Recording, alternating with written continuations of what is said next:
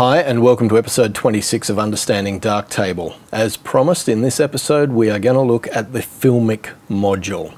This is one of two new modules in Darktable 2.6, and what it's designed to do is to give a filmic look to your images, hence the name. So the idea is to try and mimic what analog film would have done had you shot on analog film rather than shot on digital. So let's dive right on in and have a look. Now, there are three things that should be on your checklist to do before you think about activating the Filmic module. Number one, get the white balance right. If for any reason the white balance is not exactly where it should be, you really want to correct that before you go anywhere. For the female members of the audience, my apologies for this appalling image. I know it must be terribly frustrating to have to look at this and listen to my voice at the same time. This is Nat. He's a great male model. I've shot with him on a few occasions in Sydney uh, when he lived in Sydney. He's moved away now, but he's a great guy. He was such fun to work with. Uh, we shot this in an abandoned power station. It was a lot of fun. And because I shot this with a flash white balance because I was lighting him with off-camera flash, I don't feel a need to tweak the white balance. So that part of it is okay. The second thing is the exposure. Uh, in this instance, I'm reasonably happy with where the exposure is sitting, so I'm not going to adjust that. But if you're working on an image where the exposure could have maybe been a little bit better, if there's some clipped highlights that you can pull back into range, do so with the exposure module before you get to the filmic module. Thirdly, demosaic this appears in the basic group and it doesn't have an on-off switch and the reason for that is because when you're working with digital images they all need to be demosaiced because of the way a Bayer filter works in your sensor. I'm not going to go into the mechanics of that but demosaic is always running. Now by default it chooses this PPG method, which is the fastest demosaic algorithm that your computer can apply. However, Aurelien Pierre, the guy who wrote the Filmic module, he's written a great blog post, by the way. I'm probably going to talk about it quite a lot in this video, and it'll be linked in the notes down below. Definitely go and read it. Even if you're not technically minded, if you are technically minded, you're going to love it even if you're not technically minded, have at least a brief skim through it because he really goes into detail on what all of the controls do in the Filmic module. But he recommends that you use the Amaze demosaic algorithm and use it with color smoothing. Now, I'm just going to go with one time and match greens, I'm just going to go local average. And because I'm going to need this over and over again, I'm actually going to save that as a preset. So I'm going to store as a preset, I'm going to call it Filmic, just so that whenever I plan on using the Filmic module, I can come over to the Demosaic module, select the preset Filmic, and it's all done for me. Now I've got to admit, if I zoom into this at 100%, I can't really tell the difference between those two demosaic algorithms, like the default PPG or my new filmic preset. I honestly can't see a difference. But the recommendation is go with the Amaze algorithm with color smoothing before you go to the filmic module. So we've ticked off our three things. Now we can get into the filmic module and have a look. So where do we start with the Filmic module? Well, I think a good place to start is with this auto tune levels. Now what that will do by clicking on this eyedropper is Filmic will analyze the entire image and basically set all of these parameters for us on what it thinks is the correct approach for this image. Let's give it a go. Oh ye gods. No. No wrong, not what I wanted. but hey, it's an algorithm, it's not perfect, and I'm just going to switch that off. and I'm going to hit reset because that is not what I wanted from, from this image. Reset. Let's try that again. So we've got this middle grey luminance.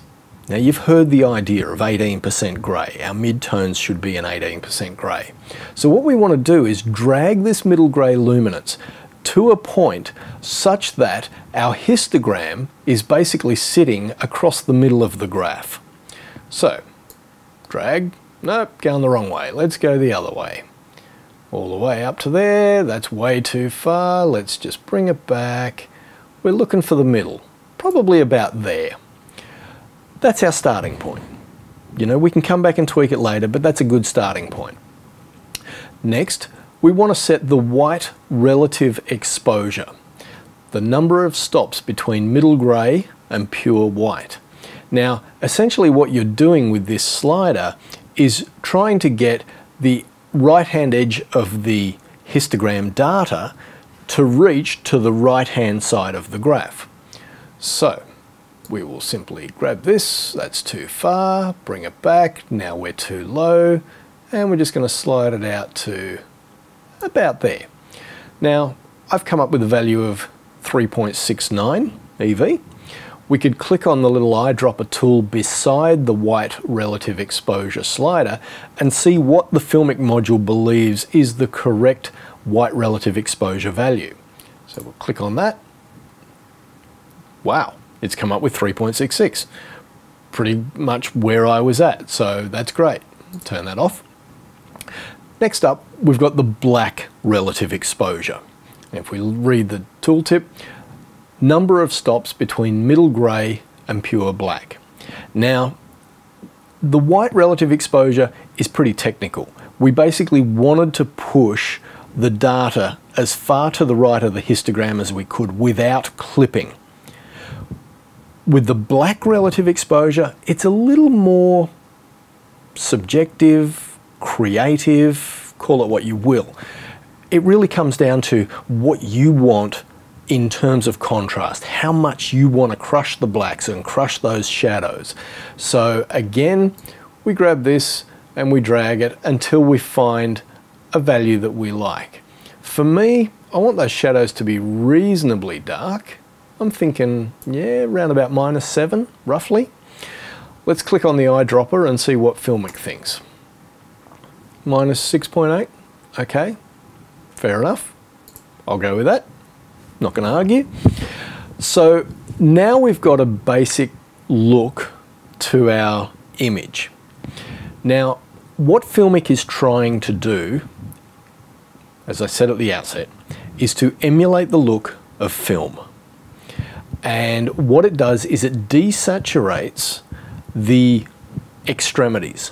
So the deep shadows and the bright highlights, it tries to push those subtly towards pure black and pure white rather than allowing saturated colors to get right down into the bottom corners of the and top corner of the graph.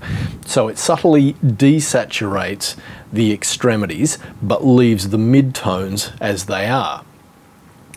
So let's now look at this second section the filmic S-curve. We've got a contrast slider, which we'll come back to. I want to look at this latitude slider.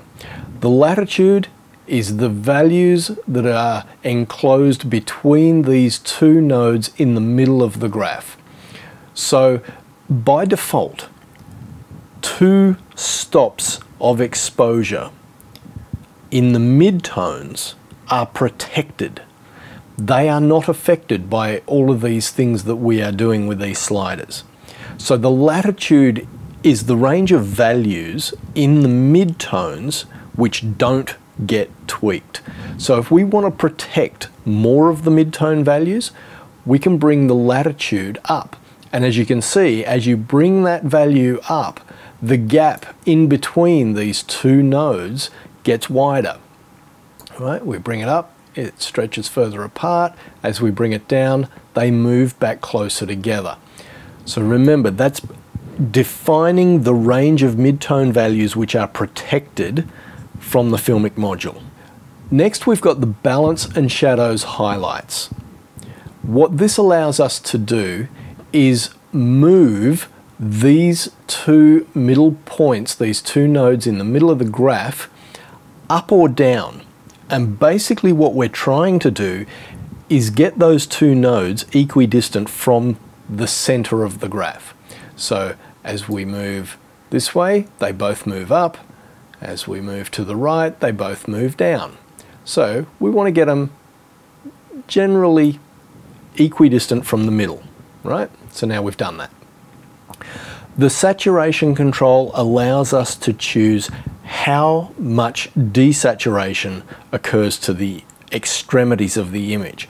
Now, when you get to extreme values, this will start to impact the midtones. So as we bring this down, we can see that the deep shadows are becoming more monochrome, as are our highlights. And when you get below about 5%, you will get some really nasty banding between saturated and desaturated, as we can see in Nat's chest here. But as we bring that up, you can see that there's not much desaturation happening in the midtones, but there is desaturation happening in the deep shadows and in the highlights. Now, just below that, there is this preserve chrominance checkbox. This is horrid. I don't know why you would use this. If we switch that on, it protects the chrominance values from the raw data. Now to me that is just horrid. I don't know why anyone would want to do that. Sure, it makes his skin look more tanned, but the blue in the jeans is just over the top. I really am not sure why you would want to do that. I'm guessing that if you were choosing to preserve the chrominance, it would be because you were planning on doing further color work in other modules that are dedicated to you know modifying color values within an image. Uh, so for me, that's a definite no-no.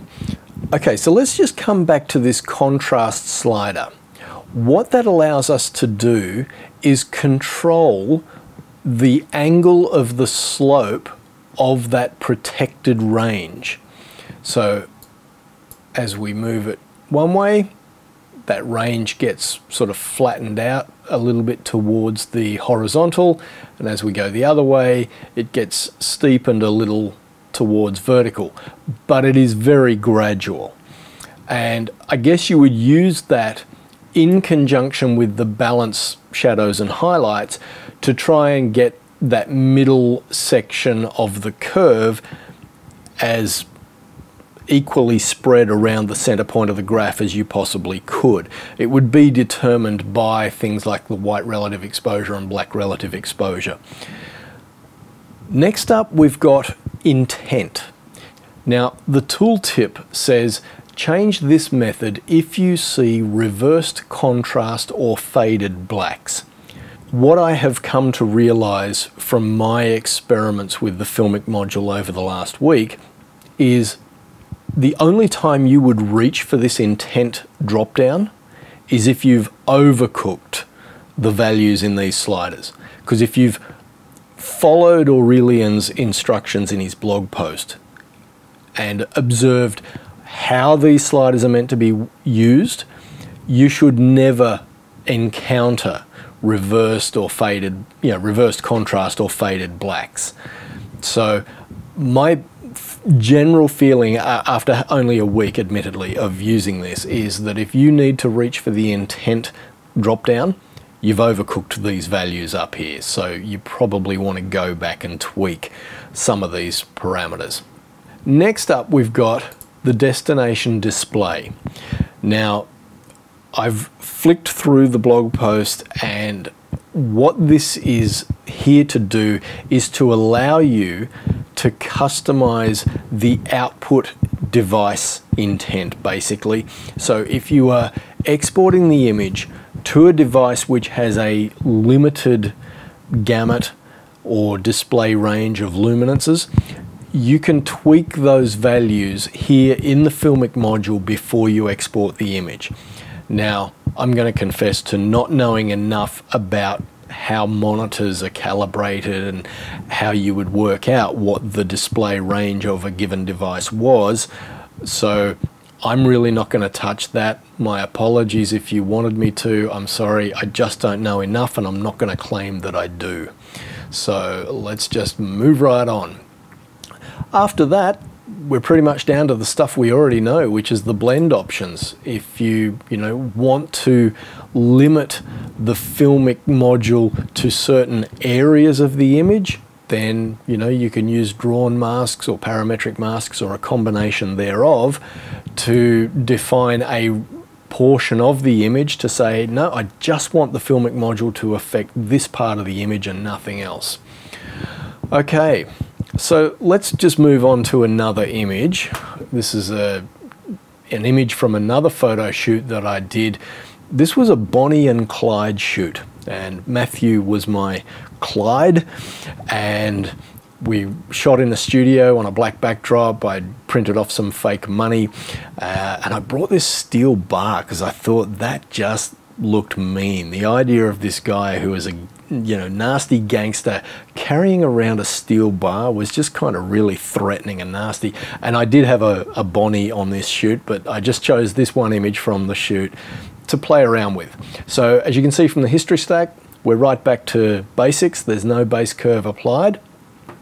So, first of all, we look at our white balance. Again, I shot with a flash white balance, so I don't need to tweak that. Exposure, it could probably come up a little bit looking at this uh, histogram here, so I might just throw in two thirds of a stop.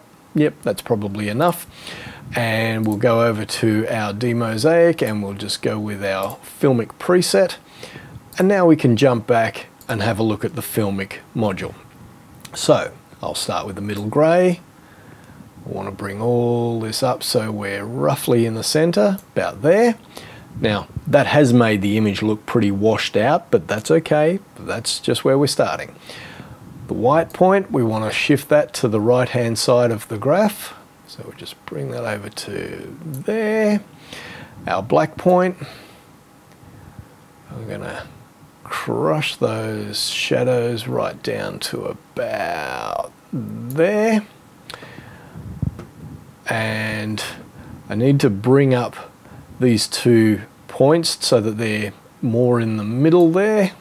So bring those up a little. I'm just going to protect a little bit more of that mid-range shift those up a little bit further. That's actually looking pretty good. That's pretty close to what I'd want, I'd think. Now, I did mean to go and do some noise reduction on this because this is an image that was shot with my A850 and we can see there's quite a bit of noise in there. Uh, I should have probably done that a little earlier, but that's okay. Non-local means I want to set this to a lightness and I then want a second module. I'm not going to explain all this because I explained this in the video on noise reduction so if you don't know what I'm doing go back and watch that video. We're setting this to chroma and that's done a pretty decent job of cleaning up some of that noise. I'm actually feeling like there's a little bit of blooming happening off the shirt here because that's very close to overexposed. And because there's such high contrast between the shirt and the black background, I'm actually thinking I want to pull that down a little bit in the filmic module because I feel like it's just a little bit overcooked. So let's just back that off. There we go. That's a little better. Right. Now, I'm going to leave that image right there. I mean, obviously I would go in and I'd crop and I'd do a few other bits and pieces, but that's my approach for the filmic module on that image. Okay, there's probably a heap more I could cover, but hopefully this has given you an introduction to the filmic module. Like I said, I've only spent a week with it, so I don't claim to know every aspect of what it does or what it can do. Again, I highly recommend you go and check out Aurelien's blog post because that really will fill in all the blanks for you. Uh, but hopefully this has at least given you an introduction to the module and what it's capable of. I've got to say, I really like it and I can see myself using this over the tone curve module and the base curve module a lot. And according to Aurelien, the global tone mapping module. This kind of replaces all three of those and does a really nice job in my opinion. I'm not a great fan, or certainly in what I've seen, of the auto uh, filmic mode. To me, it overcooks things a little bit, but at least it gives you an idea of what the module's trying to do. But I do think you really need to tweak it by hand. I have heard people mention that in Darktable 2.6 there is now an option in preferences to not auto apply base curves and I think that is because of the presence of the filmic module. So if you imagine that the filmic module is going to become a core part of your workflow, you probably do want to go into preferences, core options and scroll right down to the bottom and make sure auto apply per camera base curve presets is unchecked. Alrighty, that is going to do it for this one. So now that we've covered that, I can talk about some other bits and pieces.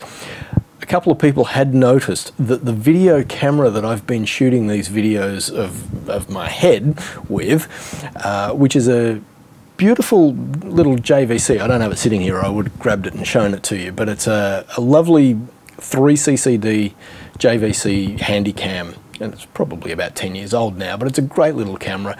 But it had a couple of dead pixels, and sadly, they were showing up really nastily on the wall up here behind me, and it just looked terrible.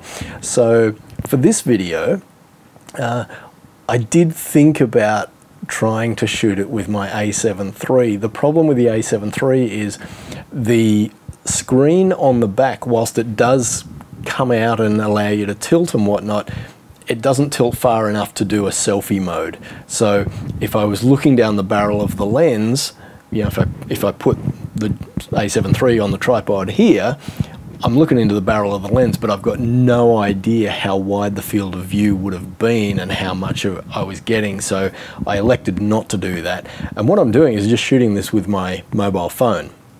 Uh, as you've probably worked out, I don't use the camera audio for my dialogue. I have a lav mic on my chest and that records to somewhere else and I sync it all up later.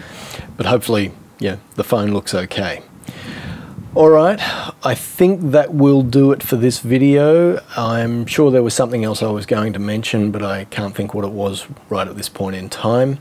Um, thank you for all the mad love that's come in. I've just been overwhelmed by the response to the last video, the new features in Darktable 2.6. My number of subscribers has gone up 25% in a week. It's just been crazy. Uh, I was sitting at somewhere around about 400 subscribers before that video came out, and I'm at almost 580 as I'm recording this. So obviously that video was something that the internet was waiting for and uh, it's eclipsed all other videos in terms of views. So great that people are finding value in what I'm doing and um, thanks for the support. I really appreciate it. All right, that'll do it. Talk to you soon.